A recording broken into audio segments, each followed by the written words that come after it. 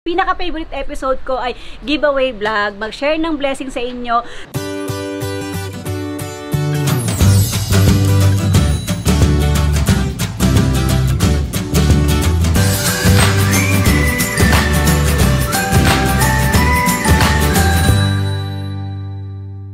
Hi guys! Mga Beshi, mga Marcy, mga Swissy ko dyan. Today, mag-giveaway vlog tayo!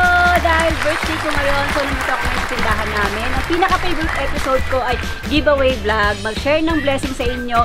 Especially sa mga mahal kong subscribers. Kapit lang mga Besh, walang bitawan. So, stay tuned tayo. Magkakaroon muna tayo ng question and answer. So, hulaan nyo yung mga question na to. So, ilang taon na ako? Question number one. At question number two, anong pangalan ng doll ko dito sa tindahan na yon So, pakita mo.